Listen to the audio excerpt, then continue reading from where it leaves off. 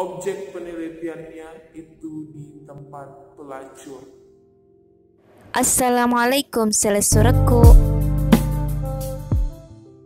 Hai, Assalamualaikum warahmatullahi wabarakatuh. Teman-teman, jadi di video kali ini saya akan kembali mereview buku. Ini dia, bukunya Kang Maman. Pasti kalian tahu siapa sih Kang Maman itu? Dan kalaupun kalian belum mengetahuinya, silahkan dicek atau dikepoin Instagram beliau Siapa sih Kang Maman itu? Baik teman-teman, silahkan dilihat kita akan mulai mereview dari sampulnya Jadi Re itu sendiri adalah nama dari toko ini saya bacakan bagian sinopsisnya. Panggil aku Re, pekerjaanku pelacur, lebih tepatnya pelacur lesbian.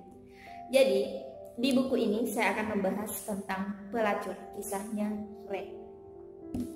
So, kalau kalian penasaran, silakan diikuti video ini sampai selesai teman-teman. Baik teman-teman kita lanjut. Jadi buku ini tebalnya 160 halaman Yang dicetak sudah tiga kali Sebanyak tiga kali. Silahkan dilihat daftar isinya teman-teman. Oke ini ada 14 sub. Dan setiap lembarannya Subnya itu ada kertas hitam. Ya kertasnya berwarna hitam Oke baik teman-teman, mengawali dari kisah buku ini itu seorang Sinta, temannya Re, teman kamarnya Re juga bekerja sebagai pelacur. Jadi dia meninggal karena ditabrak mobil. Nah dari sinilah uh, dendamnya Sinta, dendamnya Re dan sakit hatinya itu berawal dari temannya itu yang ditabrak itu Sinta. Karena kenapa? Sinta di sini uh, ingin mengundurkan diri dari tempat pelacur dan dia telah mengundurkan diri ke Mamilani, bosnya Re, bosnya juga Sinta, dan dia telah melunasi utang-utangnya. Namun setelah itu dia ditabrak mobil dan dia meninggal. Dan bukan hanya Sinta teman-teman sekalian, ada beberapa tokoh dari buku ini yang meninggal itu karena ingin mengundurkan diri sebagai pelacur ada yang meninggal karena gantung ditemukan gantung diri, ada yang meninggal karena perutnya dikatar. Jadi dari situlah uh, Ray beranggapan bahwa semua teman-temannya yang dibunuh adalah perbuatan dari Mamilani itu sendiri. Karena setiap kali dia ingin mengundurkan diri atau setelah dia melunasi utang-utangnya, dia dikabarkan meninggal. Karena apa? Katanya Ray, takutnya Mamilani itu eh, orang-orang uh, yang keluar dari tempatnya akan jadi saingannya Milani atau membocorkan rahasia Milani itu sendiri. Jadi makanya setiap ada yang ingin mengundurkan diri itu dibunuh. Tapi kasus ini tidak terungkap teman-teman, tidak terungkap dari buku ini bahwa Mamilani itu sendiri yang membunuhnya, tetapi ya Re beranggapan bahwa e, Mamilani yang membunuhnya. Baik teman-teman, jadi uh, Herman di sini adalah seorang mahasiswa dari jurusan kriminologi di Universitas Indonesia yang ingin melakukan penelitian dengan objek penelitian skripsinya itu re di tempat pelacur khususnya di tempat pelacur lesbian di tempatnya re. Nah, seiring berjalannya waktu yang awalnya hanya ingin meneliti untuk bahan skripsinya, tetapi lambat laun itu berubah dia ternyata jatuh cinta perlahan-lahan dia jatuh cinta terhadap Ray baik teman-teman. Siapa sih Ray itu sebenarnya?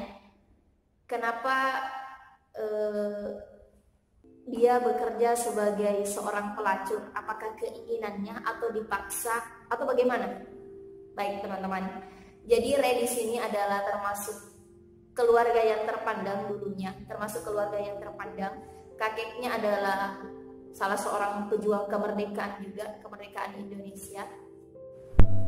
Jadi mamanya Re di sini lahir pada saat 4 tahun setelah Indonesia merdeka.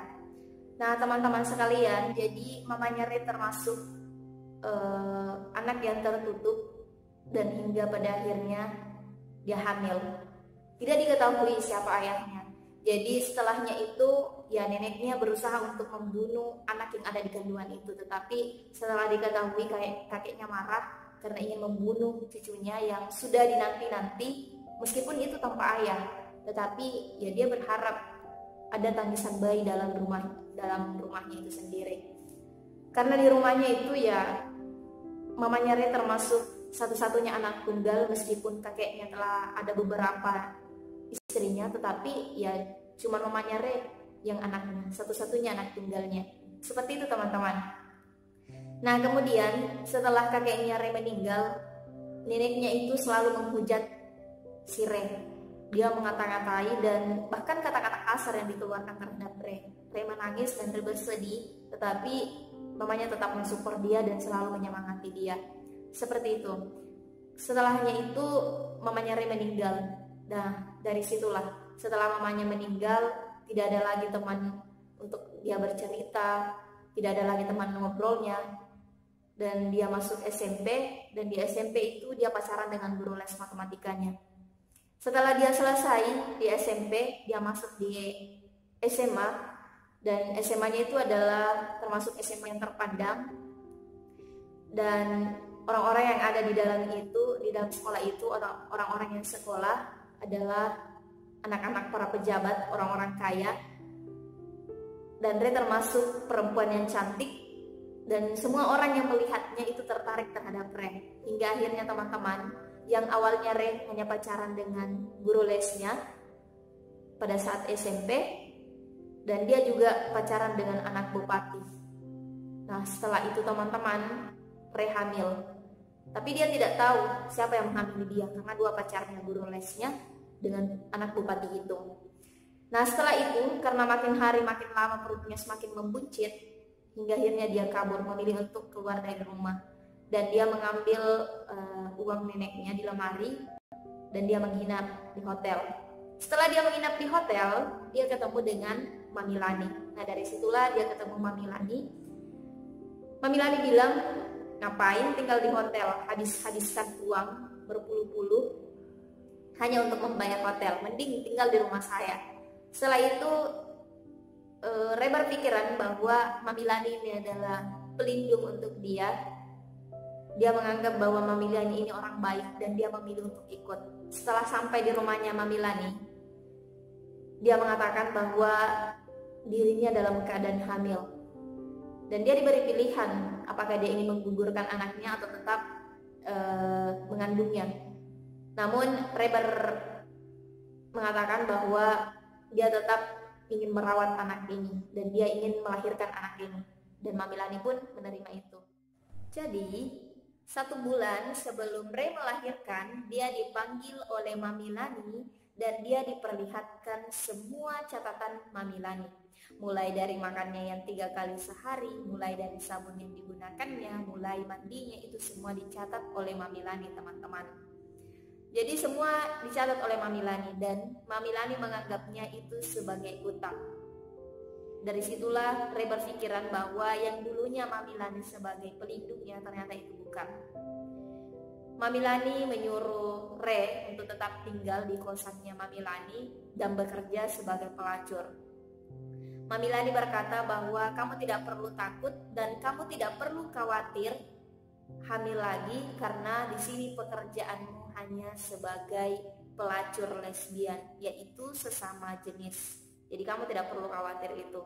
Nah dari situlah teman-teman sekalian, Re bekerja sebagai seorang pelacur lesbian. Jadi teman-teman sekalian, Re di sini nasibnya sama dengan teman-temannya yang lain dia ditemukan meninggal dunia dan dia tersalib tiang listrik. Jadi, di buku ini tidak diungkapkan kasusnya penyebab meninggalnya Ray, kenapa bisa dia tersalib tiang listrik. Jadi buku ini teman-teman ada lanjutannya dan kalaupun kalian penasaran silahkan dinantikan video saya selanjutnya dan saya akan mereview lanjutan dari cerita ini. Seperti itu teman-teman, dari buku ini saya belajar bahwa kehidupan dalam rumah tangga itu harus ada kepercayaan dan pola asuh orang tua itu sangat penting. So, terima kasih teman-teman telah menonton video ini. Nantikan video saya selanjutnya untuk lanjutan cerita ini. Terima kasih teman-teman. Assalamualaikum warahmatullahi wabarakatuh. Thank you.